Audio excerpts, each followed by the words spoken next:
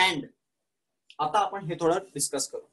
बघा जर आपल्याला इथून मूनचं डिस्टन्स मोजायचं which is very far away from us और सनचं डिस्टन्स मोजायचं तर तेवढे लांब जे डिस्टन्सेस असतात ना to measure that distance distances we use a mathematical method थोडी जॉमेट्रिकल मेथड आहे नेम्ड ॲज पॅरालॅक्स मेथड तुम्ही जस्ट नाव लिहून घ्या पॅरालॅक्स मेथड डिटेल मध्ये we are going to discuss so very very large स्केलच्या under काय येणार आहे? पॅरालॅक्स मेथड आणि व्हेरी व्हेरी व्हेरी स्मॉलसाठी आपण काय युज करणार आहे?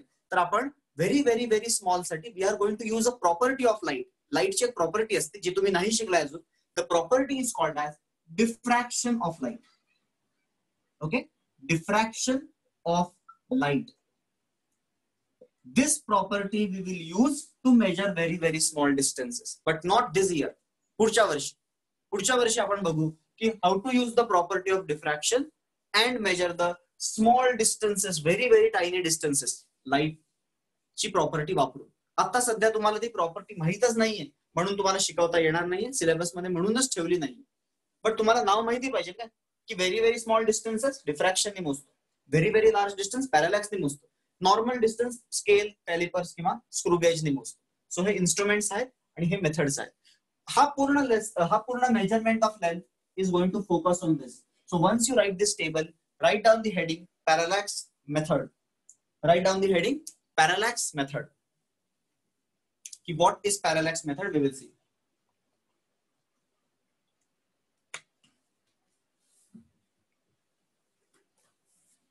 Diffraction, parallax,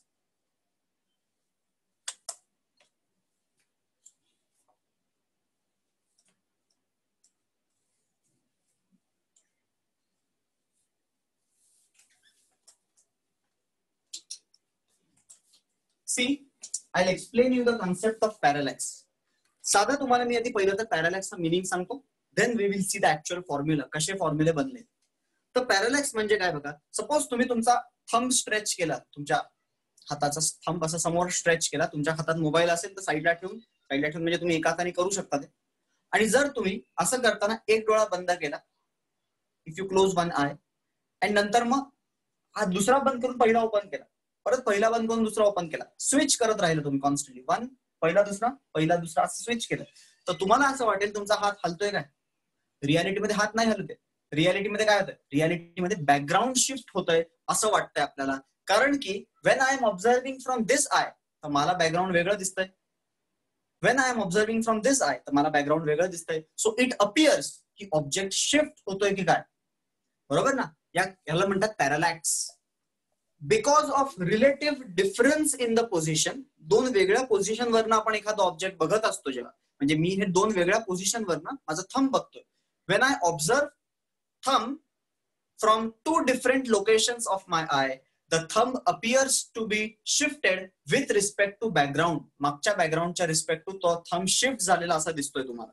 बरोबर ना? तुमचा थंब शिफ्ट झालेला दिसतोय. या कन्सेप्टला म्हणतात parallax observing particular thing from two different locations it appears की ऑब्जेक्ट शिफ्ट होतोय आणि हा पर्टिक्युलर प्रॉपर्टी वापरून वी कॅन शुअरली मेजर की तो किती लांब आहे डोळ्यापासून माझ्या. आता कसं मोजायचं बघ. एक्झॅक्टली काय करतात बघा. इमॅजिन करा इमॅजिन करा की एक मोठा ग्राउंड आहे असं खूप मोठा ग्राउंड आहे. आणि ग्राउंडच्या दुसऱ्या एंडला एक पोल आहे. मी टॉप व्ह्यू दाखवतोय म्हणून तो पोल असा डॉट दिसणार आहे. वरतून तो पोल डॉट दिसेल. आणि आपल्या इथे एक माणूस थांबलाय. ह्या माणसाला तो पोल किती लांब आहे तो मेजर करायचा. This person is interested to measure ये पोल कितना दूर है हम what is the distance of that pole So there are two ways, obviously. What he can do, he can take a scale and go up to that point because it is possible. But त्याला बिना स्केलचं using parallax method मोजायचं तर त्यांनी काय केलं पाहिजे आणि what exactly the person can do without going there he can measure the distance काय करू शकतो बघा तो. तो या पर्टिक्युलर पोलचं डिस्टन्स मोजण्यासाठी what he can do is तो त्याच्या इथेच याच लोकेशनला तो एक अशी लाईन ड्रॉ करू शकतो जी त्या पोलपासून त्या त्या पर्सनला लाईन जॉईन करते ना त्याला परपेंडिक्युलर त्यांनी एक लाईन जॉईन केली. लाईन ड्रॉ केली. त्यांनी छोटीशी लाईन ड्रॉ केली काय आणि त्यांनी काय केलं आता? लाईन ड्रॉ केल्यावरती ह्या लोकेशनला नाव दिलं ए आणि ह्या लोकेशनला नाव दिलं बी त्यांनी नाव देऊन टाकलं दोन लोकेशनला खूप लांब पोल होता तर त्याने अशी लाईन ड्रॉ केली. इकडे एक पोझिशन आहे इथे एक पोझिशन आता त्याच्याकडे एक लांब डिस्टन्स बघण्यासाठी टेलिस्कोप आहे. त्या टेलिस्कोपनी त्यांनी काय केलं? या लाईनला परपेंडिक्युलर टेलिस्कोप असा पॉइंट केला. तर परपेंडिक्युलर पॉइंट केला टेलिस्कोप तर त्याला तो पोल दिसतच नाहीये. ऑब्व्हियसली कसा दिसेल पोल पोल तर त्या साईडला थोडा. त्या साईडला म्हणून त्यांनी काय केला? त्याचा टेलिस्कोप असा पोलकडे पोल इकडे आहे. त्या दुसरीकडे त्याला असं टर्न करून पोलकडे आणावं लागला. सो या पोलला बघण्यासाठी त्यांनी टेलिस्कोपला टिल्ट केला. टिल्ट केल्यावरती त्याला टेलिस्कोप दिसायला लागला. तरी समजा अँगल टू डिग्री टिल्ट थोडासा अँगल. कारण की हा ही लेन छोटी आहे ना. ही लेन एवढी छोटी आहे की बघितल्या बघितल्या पोल साईडला दिसेल. थोडासा टिल्ट केल्यावरती आता पोल दिसणार आहे. ही लाईन छोटी आहे काय? खूप लक्षात ठेवा. हे डिस्टन्स खूप लहान आहे. सो त्याला हा अँगल मिळाला. तो आता इथून इथं इथं चालत चालत चालत चालत ए पोझिशनला पोहोचला. ना once the person reaches point A again person will try to watch this pole keeping the telescope perpendicular to this line या लाईनला परपेंडिक्युलर ठेवी. परत त्याला टेलिस्कोप मधनं पोल दिसणार नाही. सो त्याला टिल्ट करावा लागेल थोडासा टेलिस्कोप त्याचा. आणि त्यांनी समजा या वेळेस टिल्ट केला थ्री डिग्री तर कॅन यू टेल मी ह्या दोन लाईनच्या आतमधला अँगल किती असेल? तर ऑब्विसली हा टू आहे. So this will be two हा थ्री आहे. So this will be three so two plus three is equal to five degree this will be the internal angle between those two lines. या दोन line मधला हा internal angle आणि मी तुम्हाला आधीच सांगितलंय हे डिस्टन्स खूप लार्ज आहे. हे डिस्टन्स खूप स्मॉल आहे. सो त्यांनी काय केलं मग? त्याला तर माहिती आहे दोन लोकेशनमध्ये डिस्टन्स काय हे डिस्टन्स त्यांनी त्याला नाव दिलं बी त्याला त्यांनी काय नाव दिलं? बी बेस म्हटलं त्यांनी त्याला. दिस इज द बेस हा माझा बेस आहे. आणि मी पाच डिग्री वरती इथून टिल्ट इथून टिल्ट केल्यावरती पाच डिग्री वरती त्या दोन लाईन जॉईन होत आहेत. आता त्याला हे डिस्टन्स कसं काढता येईल? How can he calculate this distance very simple तुम्ही शिकला आहे की सर्कल जर काही तुम्ही घेतला नाही आणि सर्कलचा हा सेंटर असेल and if I draw radius radius and this line if I say arc length तर arc length is equal to काय असतं रे? तुम्ही मॅथ्समध्ये शिकला आहे आय होप तुम्हाला आन्सर येत असेल. कॅन यू टेल मी कोणीतरी हँड रेस करून R theta R theta very good Chirag R theta is the formula very good R is the radius theta is the angle आता आपला जो आहे shooter की ज्याला डिस्टन्स मोजायचा आहे त्याच्यासाठी हा पोल हा सेंटर सारखा बिहेव करतोय. आणि त्यांनी जे बेस ड्रॉ केलाय ना तो एक लार्ज सर्कल लार्ज सर्कलचा छोटासा पार्ट आहे. सो आपला जो माणूस आहे ज्याला डिस्टन्स मोजायचा आहे त्या पर्सनसाठी आर्क लेंथ कोण आहे? आर्क आर्कलेन त्याच्यासाठी बी सारखा बिहेव करतोय जे त्याला माहीत आहे. करेक्ट आर्क त्यासाठी बी सारखा बिहेव करतोय. सो मी फॉर्म्युला बघा बनवतो इकडे बी त्याला माहीत आहे. आर्क सारखा बिहेव करतोय ना त्याचा बेस दोन पोझिशनला डिस्टन्स ठीक आहे. थिटा त्यांनी मोजलाय ऑलरेडी थिटा त्यांनी मोजलाय टेलिस्कोप वापरून. तो थिटा पण त्याला माहिती आहे. त्याला जे माहीत नाहीये तो रेडियस किंवा डिस्टन्स आहे.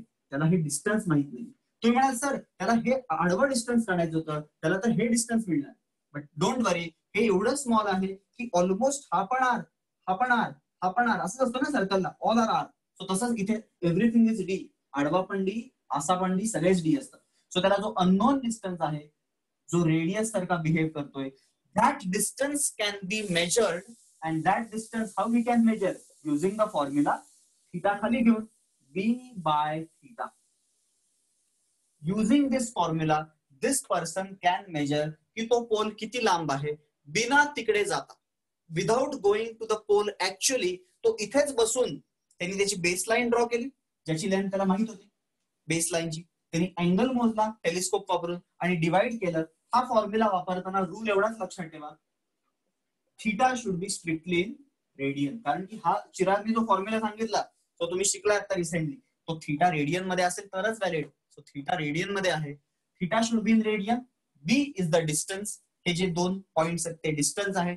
तर हे दोन डिवाइड केल्यावरती त्याला पोलचं डिस्टन्स मिळालं. मला सांगा हा पर्टिक्युलर एक्सपेरिमेंट ज्या माणसाने केला त्याचं तुम्हाला कोणाला समजलंच नाही काय झालं. कसं मोजलं कोणाला डाऊट असेल तर विचारा मला. अबाउट दिस एक्सपेरिमेंट कुठलाही छोट्यातला छोटा डाऊट असेल तरी विचारू शकता तुम्ही शुअरली सर एकदा परत एक्सप्लेन करा ना. परत एक्सप्लेन करतो अजून स्पेसिफिक डाऊट आहे का कोणाचा? कोणाचा specific doubt Mansi? Sir D is equal to B by theta कसं आलं ते एक्सप्लेन करा. D is equal to B by theta कसं आलं? ठीक आहे सो मी एकदा परत एक्सप्लेन करतो. की नक्की काय झालं आणि नंतर हा फॉर्म्युला कसा आला I am going to explain right sir sir बोल बोल. सर ते फॉर्म्युला ते एक्सप्लेन झाल्यावर तुम्ही त्याचे व्हर्च्युअल व्हॅल्यूज टाकून ऍक्च्युली दाखवसाल का? हा ना, Virtual पण आता कसं आहे मला व्हर्च्युअल व्हॅल्यू टाकायची इच्छा खूप आहे. पण तुम्हाला रेडियनचा फील नाही जसं सांगितलं ना तुम्हाला तुम्हाला रेडियनचा फील नाही मी तुम्हाला त्याची व्हॅल्यू पण दाखवणार आहे आपण न्यूमेरिकल सॉल्व्ह करणार आहे. पण जस्ट आता सध्यासाठी मला एक फॉर्म्युला बनवायचा आहे. तो मी फॉर्म्युला बनवतो आणि yes I will try to make a value as well एक व्हॅल्यू बनवायचा प्रयत्न करू आपण. ठीक आहे? तुम्हाला Okay. थोडा आयडिया येईल.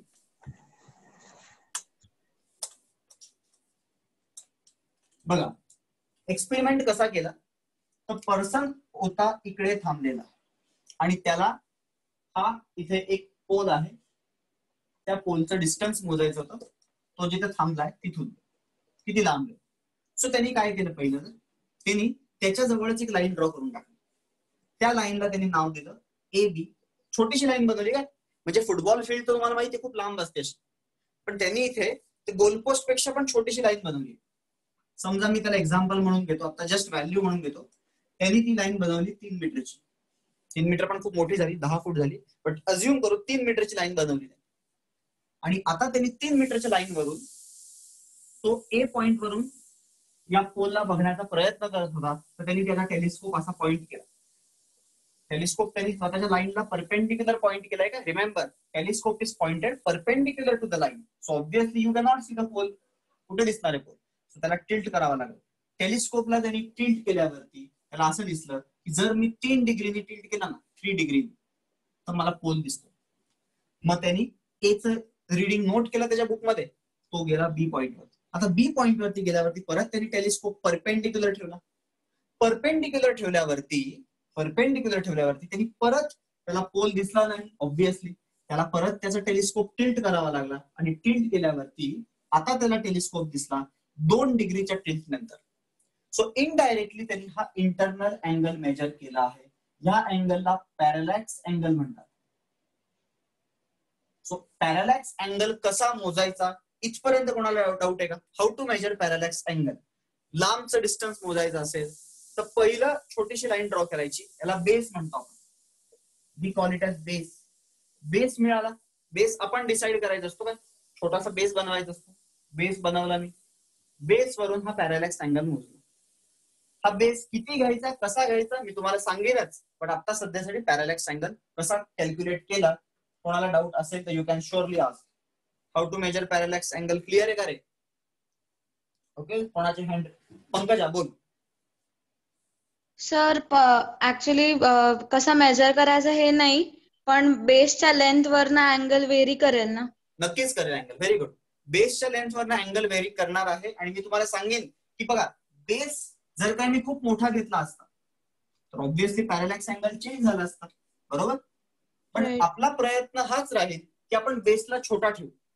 आणि बेसला छोटा ठेवायचा आहे म्हणजे पॅरलॅक्स अँगल पण छोटा राहील. छोटा म्हणजे रफली पकडून चला की दहा डिग्रीच्या आत राहिला तर बेटर आहे. आणि माझा तर पाच डिग्री राहील. मग मी बेस तीन मीटरच्या ऐवजी चार मीटर घेतला असता तर नक्कीच पॅरलॅक्स अँगल पाच नाही. मे बी सात डिग्री आला असता बट आपल्याला एका बेसला एकच पॅरलॅक्स अँगल मिळेल ठीक आहे एका बेसला तुम्ही जो काही बेस सिलेक्ट करणार you will get one parallax angle to it okay and it will vary but don't worry about that variation we will discuss it yes thank you so sir these two poles sorry these two points are basically called as the base this line is base and the pole is basically seen from the base and it is measured in terms of angle so a pole is making angle 5 degree. This is called as parallax angle. I hope इथपर्यंत सगळ्यांना कळालंय parallax angle कसा काढतो. आता हे जे आहे ना this line this pole can you imagine it in this way? की सिन्स हा अँगल खूप छोटा आहे का? मी सांगितलंय रूल काय? छोटा अँगल पाहिजे. अँगल जर छोटा असेल तर कॅन आय अज्युम की this is centre of circle असं मी अज्युम करू शकतो का? हा सेंटर ऑफ सर्कल आहे. आणि हा रेडियस ऑफ सर्कल आहे. जे डिस्टन्स बिटवीन पी आणि पॉइंट ए आहे आपण रेडियस ऑफ सर्कल आहे डिस्टन्स बिटवीन पी आणि पॉइंट बी आहे. आणि हा आर्क आहे आणि मोठा सर्कल ड्रॉ करायला गेलो तर बोर्डच्या बाहेर जावं लागेल. पलीकडून येऊन असा वरतून येऊन मला असा सर्कल बनवावा लागेल. बरोबर ना? हा मोठा सर्कलचा एक छोटासा पार्ट आहे. मी या सर्कलला झूम आउट केलं. झूम आउट करून करून आपण बघितलं तर तो असा दिसेल नक्कीच. हा पॉइंट पोल सेंटर इथे असणार आहे. हा जो रेडियस आहे तो पॉइंट ए ला येणार आहे. हा जो खाली चाललाय तो पॉइंट बी ला जाणार आहे. आणि इंटरनल अँगल पाच डिग्री असणार आहे. आणि ए बी हा ऑलमोस्ट स्ट्रेट लाईन असणार आहे. तुम्ही म्हणाल सर सर्कल वरती स्ट्रेट लाईन कसं?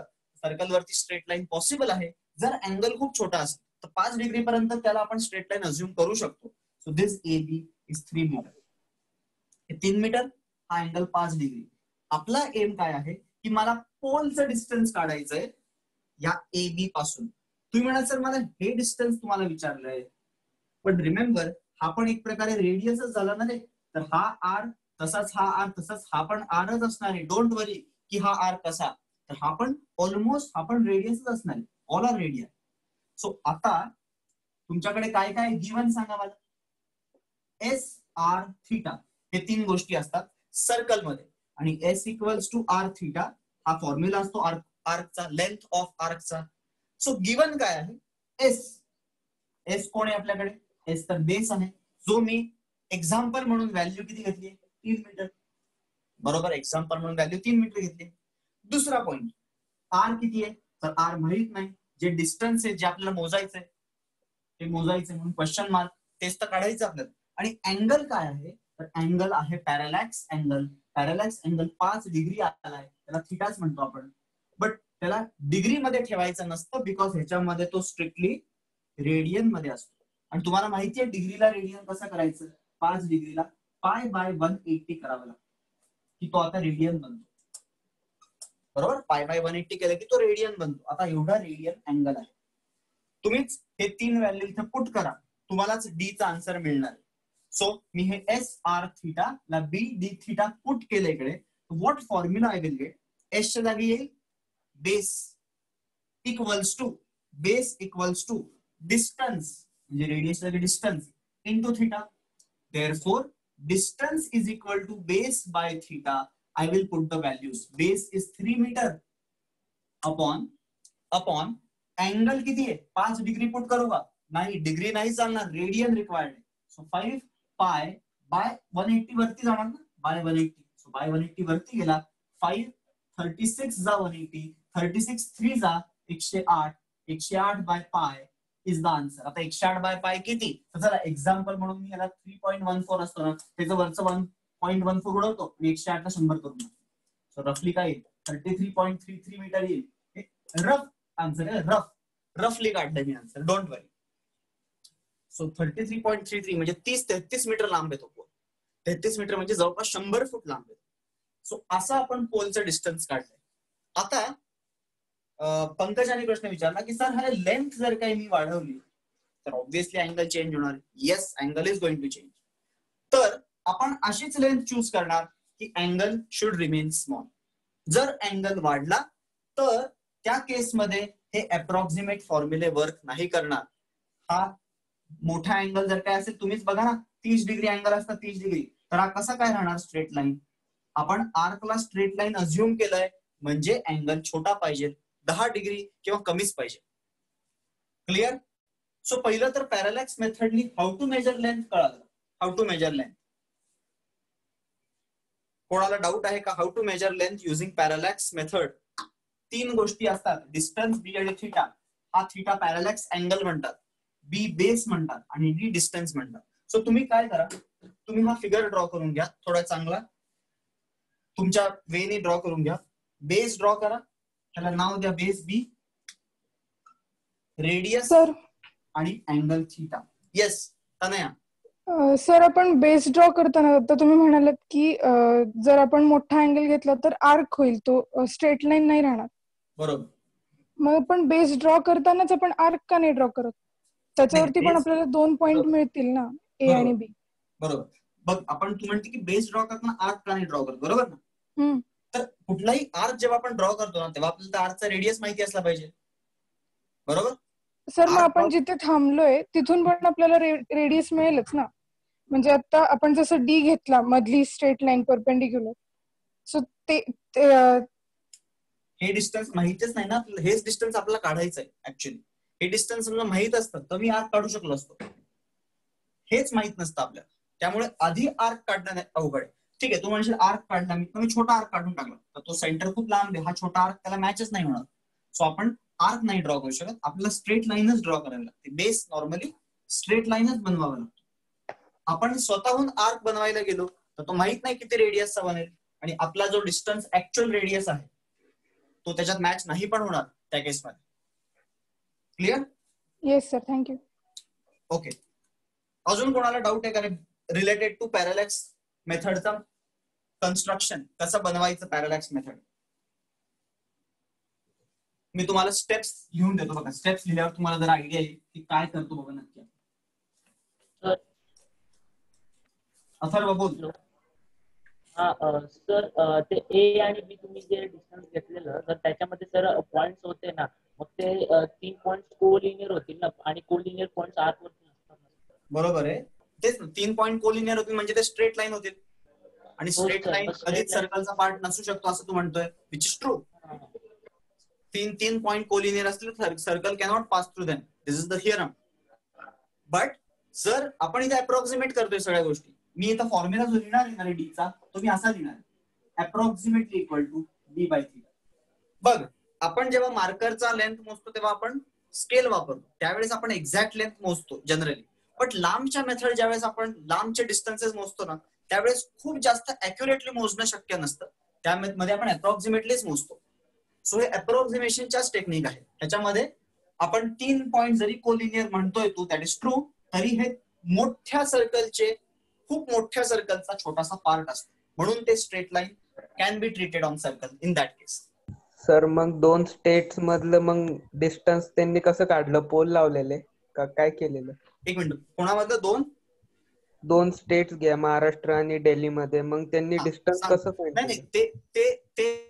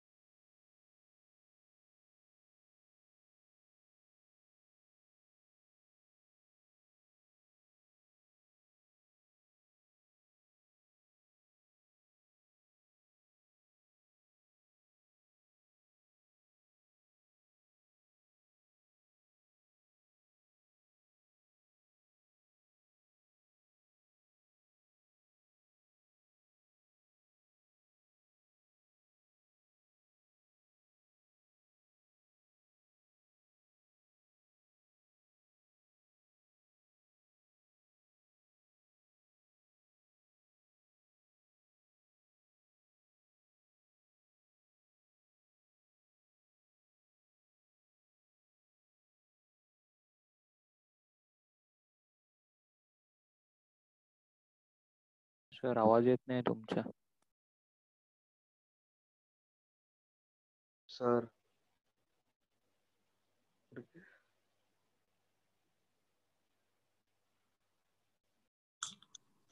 हेलो.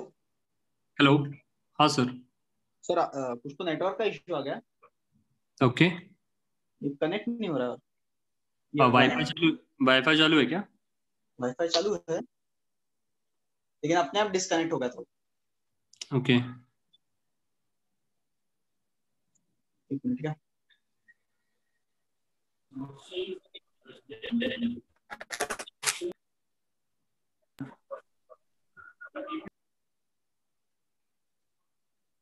हेलो हेलो हेलो अपने माइक बंद करके रखो। दो मिनट में स्टार्ट होगा लेक्चर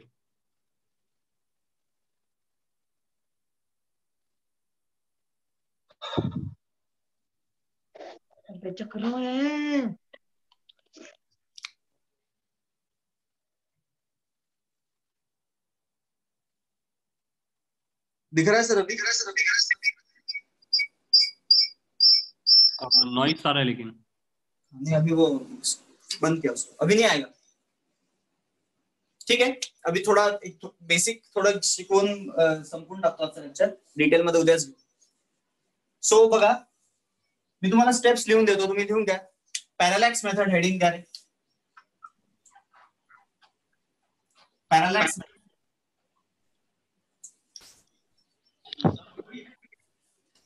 सर आपका वीडियो ऑफ़ है अभी तक. चालू है सर वीडियो इधर से? चालू आहे. चालू है क्या? मॅट्रिक्स मॅट्रिक्स ऑनलाईन काय चालू है ओके ओके वो वाला स्टार्ट किया क्या? दो मिनट ओके बघा रे सगळ्यांनी.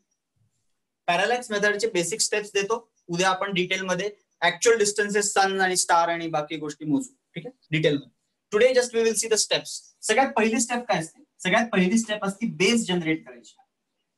Okay first step is generating the base मग तो बेस किती जनरेट करायचा? जसं मी सांगितलं generate a base such that असा जे बेस जनरेट करा की ज्यामुळे अँगल खूप लार्ज नाही होणार आणि अँगल खूप स्मॉल पण नाही होणार. खूप स्मॉल म्हणजे खूप जास्त मिनिट्स किंवा सेकंडमध्ये आन्सर खूपच कमी सेकंड असेल तर तो खूप डिफिकल्ट होतो. So actually generate a base first कुठल्याही गोष्टीला मोजण्यासाठी पहिला बेस जनरेट करावा लागतो. जसं की ग्राउंड वरती पोल मोजण्यासाठी खूप लांब एक पोल आहे तो मोजण्यासाठी मी जसं सांगितलं की तीन मीटरचा बेस बनवला. बट तोच पोल मोजण्याच्या ऐवजी जर काही मला मून मोजायचं मून मून खूप लांब आहे ना पोलपेक्षा तरी आपल्या अर्थ वरती पोल मून खूप लांब आहे. तर मून मोजण्यासाठी मला जो बेस आहे तो तीन मीटरचा घेऊन चालेल का? नाही चालणार. कारण की मी इथून जेव्हा मूनला बघतोय आणि मी तीन मीटर इकडे जाऊन मूनला बघितलं तर मून तर माझ्या बरोबर शिफ्ट होणार आणखी मून खूप लांब आहे. आपल्याला वाटेल की तो आपल्या बरोबरच शिफ्ट होतो तुम्हाला तर हे नॉर्मल एक्सपिरियन्स असेलच हा. आपण नॉर्मल एक्सपिरियन्स करतो की कुठल्याही गाडीतनं आपण जेव्हा ट्रॅव्हल करत असतो तर जवळच्या गोष्टी ज्या असतात ना. When we are travelling through car किंवा बस तर जवळच्या गोष्टी पटपट मागे जातात. ज्या गोष्टी लांब असतात ना त्या हळूहळू मागे जात असतात. आणि ज्या गोष्टी खूपच लांब असतात जसं की आपण समजा कारमध्ये बसून किंवा बसमध्ये बसून आपण एखाद्या आपण सनला बघतोय किंवा मूनला बघतोय. तर मून जो आहे बसमध्ये बसून बघताना तो मून आपल्या बरोबर चाललाय असं वाटतं आपल्याला त्याचं रिझन काय आहे? की तो एवढा लांब आहे एवढा लांब आहे की त्याला जर काही आपल्याला वेगळ्या अँगलवर बघायचं असेल ना वेगळ्या अँगलवरती तर तुम्हाला खूप लार्ज बेस बनवावा लागतो. लार्ज बेस म्हणजे काय? लार्ज बेस म्हणजे दोन वेगळ्या सिटीज मधनं जवळपास किंवा दोन वेगळ्या स्टेट्स मधनं समजा मुंबई आणि बँगलोर किंवा दिल्ली आणि पुणे या दोन सिटीज मधनं आपल्याला मूनला ऑब्झर्व केल्यावरती व्हॉट यू विल गेट की आता मून दिसेल वेगवेगळ्या अँगलला and now you can measure the angle between the moon sorry angle between these two lines parallax angle तर मोजता येईल. तुम्ही घरी बसून मून नाही मोजता येणार तुम्हाला. घरी बसून म्हणजे काय? की मून ला जर काही तुम्ही इथून ऑब्झर्व केलं आणि मग नंतर थोडं डिस्टन्स ट्रॅव्हल करून परत ऑब्झर्व करायला गेला तर तुम्हाला ऑलमोस्ट दोन्ही लाईन्स पॅरलच दिसतील. म्हणजे moon will basically shift with you because base त्याला लार्ज लागणार. आहे का लार्ज लागणार? आहे कारण की डिस्टन्स लार्ज समजतंय का? सो आपण पहिल्या सगळ्यात बेस जनरेट करतो बेस जनरेशनसाठी बेसिक रिक्वायरमेंट समजून घ्या की बेस असा जनरेट करायचा आहे की जर ऑब्जेक्ट जवळ असेल तर छोटा बेस इज फाईन लांब ऑब्जेक्ट असतील तर मोठे बेस जनरेट करावे लागतात पहिली step is generating the base second step is measure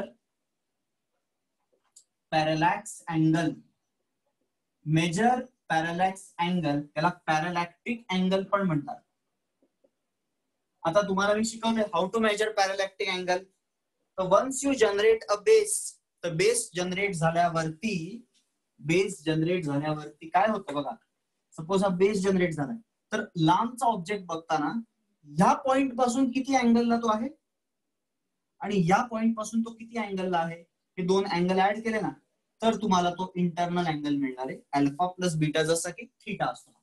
Parallax angle is theta so second step is be measure the parallax angle and can you tell me the third and the last step distance of that point किंवा distance D equal to कसा मोजतो आपण? काय formula मी सांगितलेला? The formula is B B arc length म्हणजे base upon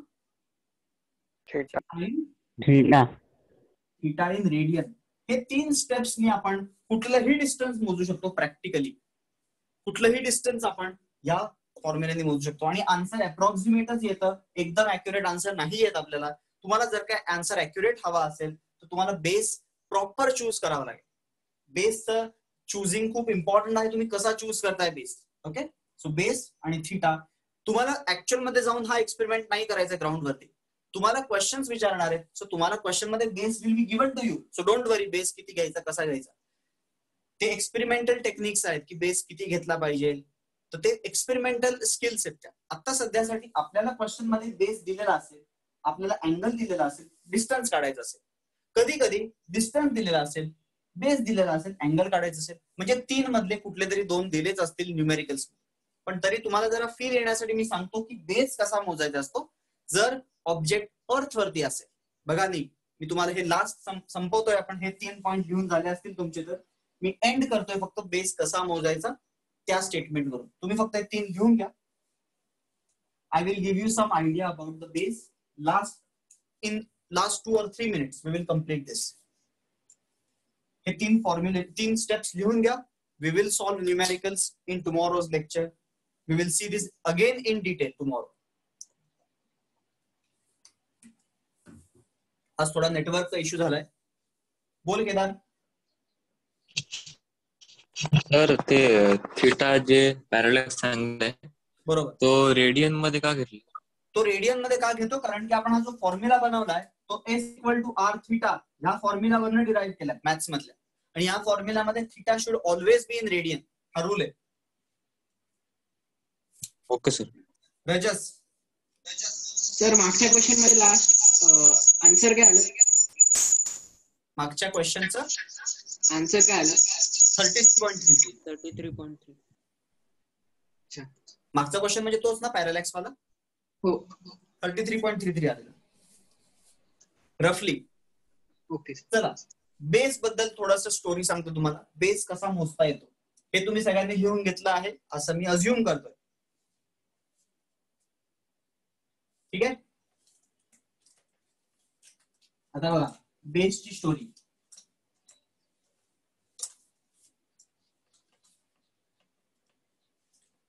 ही parallax method खूप जुनी मेथड आहे. पॅरालॅक्स मेथडनी खूप सारे डिस्टन्सेस आधी मोज मोजण्यात आलेत. म्हणजे आधी जॉमेट्रिकली खूप सारे distance of earth sun star सगळे मोजलेले जुन्या लोकांनी. तर पॅरालॅक्स मेथड वापरताना जो बेस जनरेट करायचे ना ट्रिग्नोमेट्री मधला बेस हा तर बेस जनरेट करायला choosing the base was very important जसं की फुटबॉल फील्डवरचा पोलचा डिस्टन्स मोजायचा असेल मला I will take three or five meter का base it is enough because पाच मीटर इकडे किंवा इकडे शिफ्ट झालो ना तर तो पोल तिथे शिफ्ट झाल्याचं दिसतंय मला. जसं माझ्या अंगठ्यासाठी माझ्या थंबसाठी even this two three centimeter का बेस इज इनफ म्हणजे दोन डोळे कुठल्या किती सेंटीमीटरला तीन सेंटीमीटरला असतील ना? ते तीन सेंटीमीटरचे डोळे माझ्यासाठी बेस बनणार आहे. इथून बघताना वेगळा अँगल इथून बघताना वेगळा अँगल क्लिअर सो प्रथमेश तुझं माईक ऑन आहे. You can switch on switch off your mike तर बेस जो आहे तो डिपेंड करतो. माझ्या हाताच्या डिस्टन्ससाठी एवढा बेस सफिशियंट आहे माझ्या डोळ्यांमधला distance is base football field तीन पाच तीन किंवा five meter is enough but आता आपण थोडं डिस्कस करू लांबच्या गोष्टींबद्दल. Suppose if you are observing moon तर मून किती लांब आहे? तर moon अर्थपासून three lakh eighty four thousand kilometer लांब.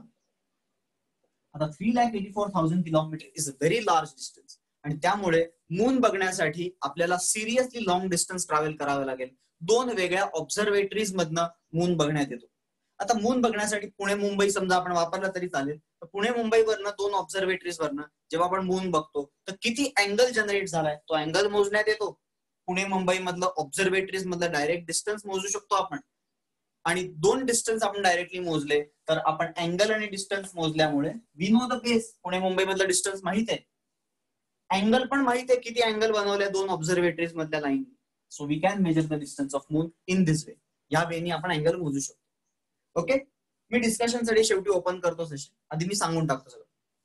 आता इन्स्टेड ऑफ मून जर मला अजून लांबचं मोजायचं अजून लांबचं म्हणजे मला सन मोजायचं. सन किती लांब? सन अजून लांब सन आहे वन फिफ्टी मिलियन किलोमीटर आता एवढा लांब जर काही सन असेल तर मुंबईवरनं सन बघितला आणि पुण्यावरती येऊन सन बघितला तर हार्डली त्याच्यात काहीतरी डिफरन्स तुम्हाला जाणवेल.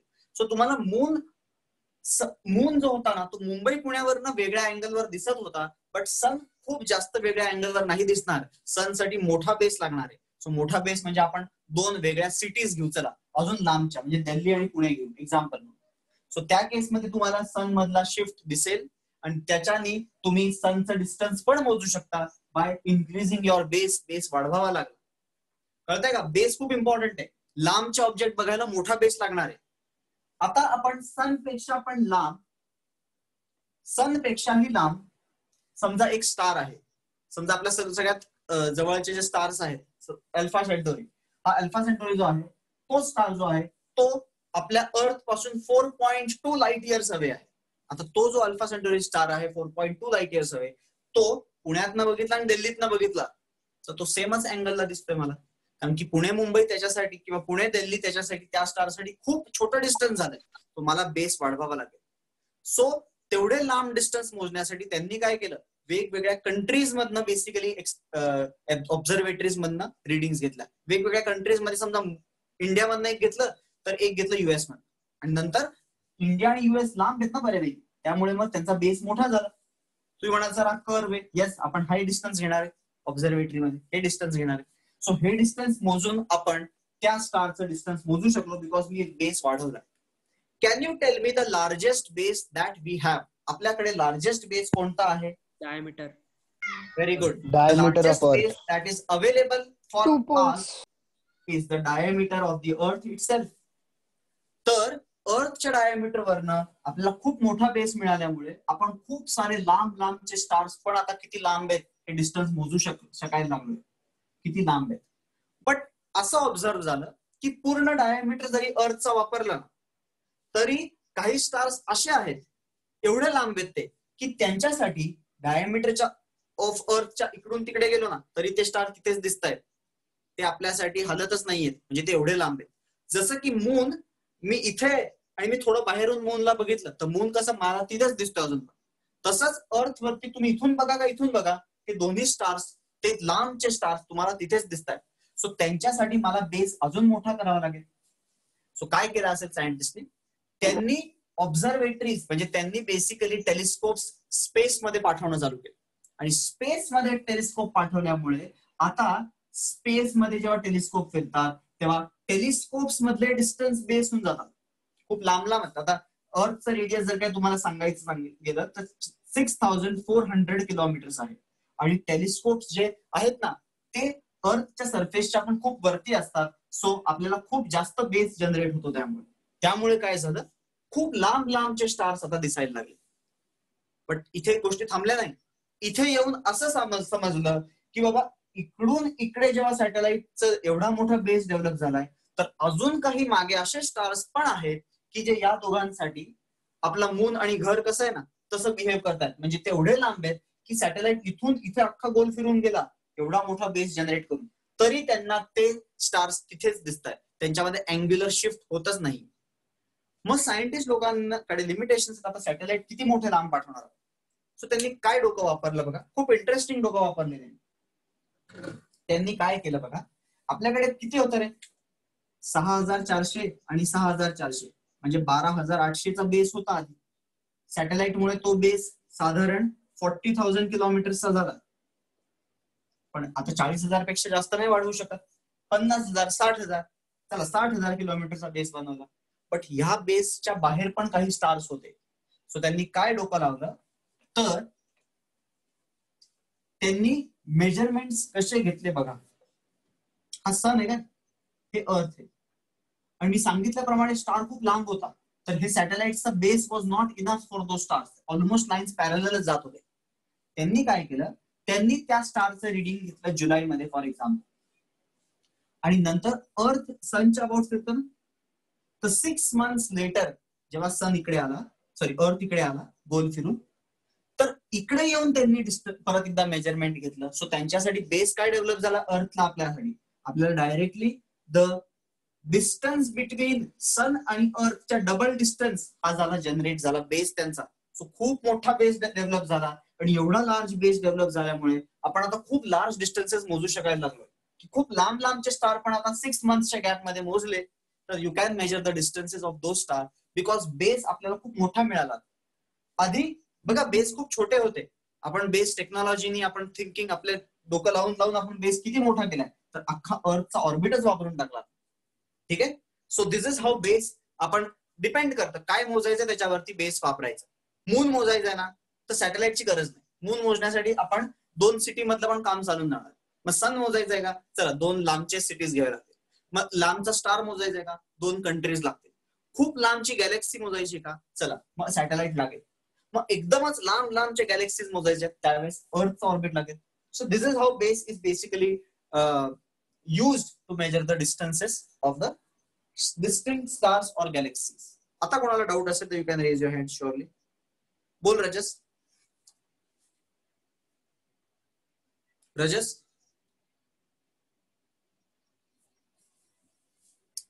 चिराग. सर तुम्ही नियरेस्ट स्टारचं नाव काय सांगितलं? नियरेस्ट बघा नियरेस्ट स्टारचं स्टारचं नाव नाही. मी four point two light year away जो आहे ना अल्फ़ा सेंटोरी. सर पण त्याच्यापेक्षा पण जवळ प्रॉक्झिमा सेंचुरी प्रॉक्झिमा सेंटुरी प्रॉक्झिमा सेंटुरी मला माहिती आहे अल्फा सेंटुरी आणि प्रॉक्झिमा सेंटुरी मध्ये थोडासा इश्यू आहे. म्हणजे नक्की काय अल्फा सेंटुरी जो आहे तो ब्राईटेस्ट स्टार म्हणतात आणि अल्फा सेंटुरी आणि प्रॉक्झिमा सेंटुरी तर फोर पॉईंट टू जो आहे माझ्यामध्ये प्रॉक्झिमा आहे का अल्फा एकदा व्हेरीफाय करावं लागेल. ओके ओके प्रॉक्झिमा सेंटुरी आणि अल्फा सेंटुरी मध्ये एक ब्राईटेस्ट आणि एक क्लोजेस्ट आहे. ते एकदा चेक करावं लागेल. अनिश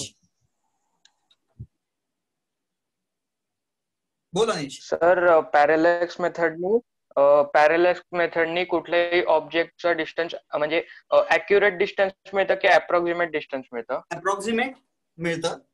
But direct. मेथडनी मोजू शकत नाही. म्हणून आपल्याला अप्रॉक्सिमेट बरोबरच ते एक्सेप्ट करावं लागतं अप्रॉक्सिमेट म्हणजे म्हणजे सर बोल. म्हणजे सनचा आता अर्थपासून distance one fifteen to ten raise to six kilometer तर हे अप्रॉक्सिमेट आहे की अॅक्युरेट आहे? हे अप्रॉक्सिमेट आहे. बट अप्रॉक्सिमेट म्हणजे कसं अप्रॉक्सिमेट आहे बघ तुला सांगतोय. सपोज मी तुला सांगितलं की मार्कर आहे. दहा सेंटीमीटरचा आणि मी या दहा सेंटीमीटरच्या मार्करला म्हणलो हा नाही दहा नाही वीस सेंटीमीटरचा तर ह्याच्यामध्ये मी खूप जास्त एरर केलाय. बरोबर? हो.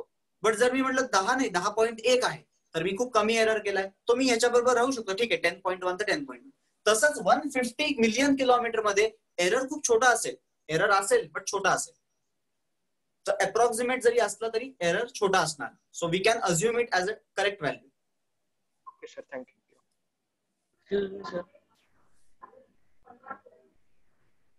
Alpha Centauri आणि तो जो बोलला ना Chirag Alpha Centauri is the closest star system it it is closest to the earth काय?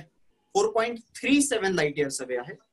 ओके आणि टेक्स्टबुकमध्ये four into ten raise to six light years हो फोर आहे. ऍब्सोल्यूट फोर आहे. Four into ten to six light year असा word आहे नाही metre आहे. Four into ten raise to sixteen metre आहे सॉरी ते त्यांनी लाइट इयरला कन्वर्ट केले. ते कन्व्हर्जन फॅक्टर असतो नाईन पॉईंट समथिंगचा ते आपण बघू उद्या आपण सॉल्व्ह करणारच आहे. Okay sir.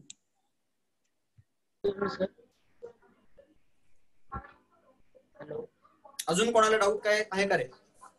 Hello sir hmm.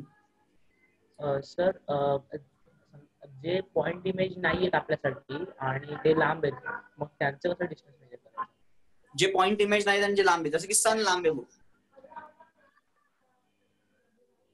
बरोबर ना? आणि तो पॉइंट इमेज नाहीये तर काय म्हणतोय तू? तर मग त्यांचं कसं मेजर करायचं. आपल्याला इथे पॉइंट इमेजच मेजर करता येत नाही. नाही पॉइंट इमेज नाही सेंटर सेंटर पकडायचं त्याचं. म्हणजे सनचा सेंटर आपण दोन्हीकडनं ऑब्झर्व सनचा सेंटर कळालं का? हो सर ठीक आहे? अजून कोणाला डाऊट असेल तर तुम्ही थांबा. आपण कालच्या टेस्टचे जे काही डाऊट होते ते उद्या सॉल्व्ह करू. आता आज खूप लेट झालंय. नेटवर्क पण मध्ये गेलेलं. सो तुम्ही जाऊ शकता. पॅरेलेक्स रिलेटेड डाऊट वाले थांबा. इफ यू वॉन्ट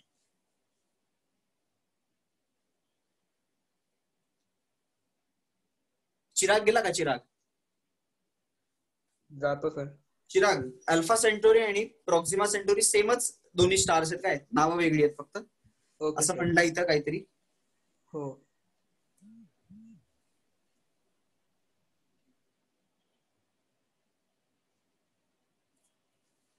एक मिनिट मी चेक करून मी कन्फर्म करतो रे. मला वाचावं लागेल ते इथं बघ. एनिवेज अजून कोणाला पॅरालॅक्स रिलेटेड डाऊट असेल तर यू कॅन आस्क